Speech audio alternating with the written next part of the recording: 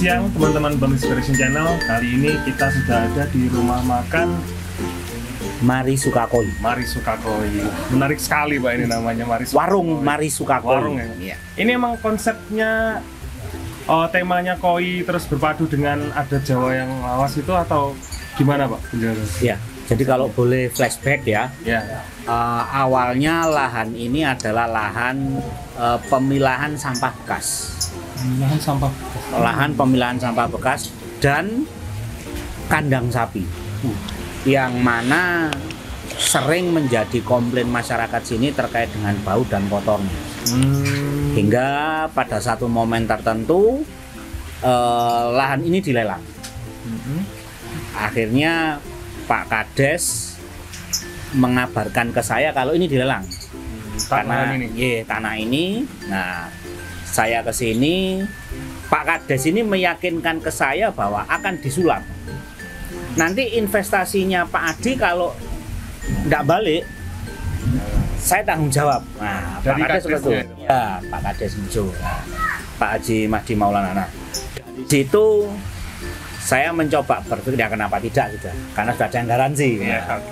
akhirnya kita rubah awalnya hanya sebuah breeder koi Hmm. tapi karena ya namanya pengusaha berpikir Iya, ini BIP-nya nah, pengembangan akhirnya kami merubah menjadi sebuah sebuah tambahan lagi warung Nah, ke belakang nanti eh, ke depan target di belakang ini nanti akan ada villa atau atau rumah kayu sekali. Jadi ada penginapannya bakal Betul. di sini, Pak ya. betul Hmm, saya lihat tadi juga beberapa saya lihat eh, untuk rumah makannya mungkin sudah clear lah pak ya, tinggal finishing aja. Nanti orang sudah bisa dipakai juga beberapa tadi juga ada saya lihat Betul. orang foto prewedding juga pak ya tadi sini. betul Iya, emang Iya. spot-spotnya menarik. terima kasih Ja- jarang sekali yang tempat rumah makan atau kafe yang di Malang membawa tema-tema Jawa lawas itu kayaknya jarang. Iya. Mungkin kalau dengan konsep ada penampilan konsernya atau apa mungkin ada. Kalau kalau kayak gini saya baru lihat ya, apalagi dipadu dengan koin. Uh, kayaknya menarik sekali nih nanti ujungnya.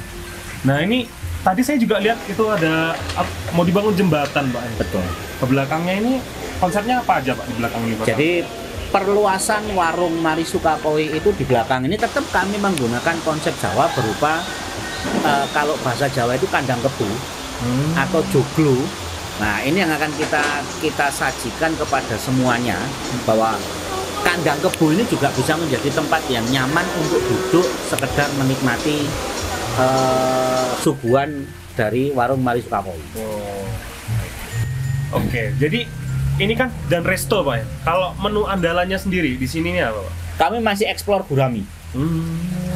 Gurami ini masih paling sering dicari di sini. Hmm. Makanya nanti dengan pesen coba diicipi gurami, nanti balik lagi ke saya Kita enak ya? Oh. Monggo silakan. Nanti pesen aja karena kami mengandalkan gurami. Hmm. Ini saya masih minta sama teman-teman, eh selama ini kan cuma lima nih gurami ini, gurami asam manis, gurami pedas, gurami telur asin, gurami Iya. kering. Nah, ayo bikin menu yang Menu yang baru. yang enggak ada. Oh.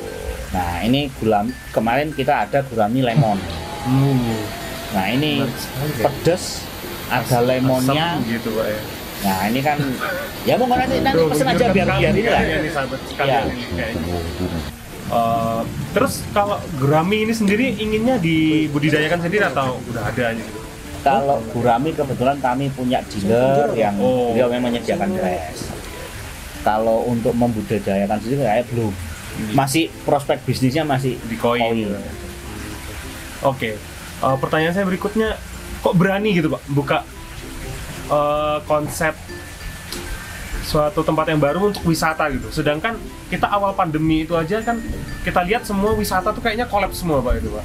Kok Pak Adi sendiri berani gitu buka suatu konsep wisata baru lagi gitu? Domainnya ini bukan berani, Hmm. tapi nekat. Oh, Domain nekat yang kalau bahasa kami diijabahi Gusti Allah. oh, Sehingga kami diberi kelancaran. Mulai tenaga tukang dari warga sekitar, hmm. sampai tenaga kerja dari warga sekitar. Jenengan bayangkan saya tidak bingung untuk nyari orang. Nah ini makanya kan saya berpikir bahwa oh ini memang ini konsep nekat yang diijabahi sama Gus oh ya seperti ini. Dan ketika opening kam kemarin lebih membuat saya exciting manakala Pak Danrem yang membuka. Beliau berkenan tanggal 4 kemarin itu tanggal 4 datang ke kemarin Pak Danrem nah di injury time Pak Pak Nugraha Gumilar Brigjen TNI Nugraha Gumilar dan Pol Tekad berkenan rawuh juga. Uh, sore Pak Wabub ada di sini juga. Uh, sorenya berarti Sorenya sehari Pak itu pembukaan itu openingnya Nah. langsung datang Jadi eh, ini yang membuat saya bersemangat manakala kan ya tidak mungkin lah beliau kolonel beliau brigjen sesibuk itu tiba-tiba iya, mas aku datangnya aku yang buka lah iya, bisa menyempatkan datang Iya. untuk opening itu Pak. oh jadi eh, hal-hal ini yang menyemangati kami Oh. bahwa ya sudah lah kemarin kemarin dari ilfil dari ilfil menuju ya sudahlah sekarang lu ayo Oh. kita serius nah, jadi dengan dengan tripartit konsep itu breeder koi resto penginapan ini semoga semoga bisa kalau bahasa pengusaha ya bisa saling mendukung dan mempercepat DP kan gitu dong Oh iya iya. ya semoga semoga saja. Oke, terima kasih loh Pak ini waktunya. Iya. Banyak pertanyaan kita sudah terjawab. Jadi nanti kalau teman-teman di daerah Malang, daerah mana ini Pak? ini masuk desa Ngijo dusun Dusun leses Ngijo. desa Ngijo Oh, Dusun Leses, Desa Ngijo. iya Ada wisata baru nih. nanti ada di set Iya. Google warung Mari Sukakoi Oh, udah ada di Sudah Maps ada. ya? Oh, Di tuh udah ada di sudah map. Jadi lebih mudah lagi kalau teman-teman mau datang ke sini. Menunya menarik sekali. Ah, pemandangannya bisa dilihat sendiri nanti di video berikutnya. Terima kasih, Pak. Assalamualaikum warahmatullahi wabarakatuh. Waalaikumsalam.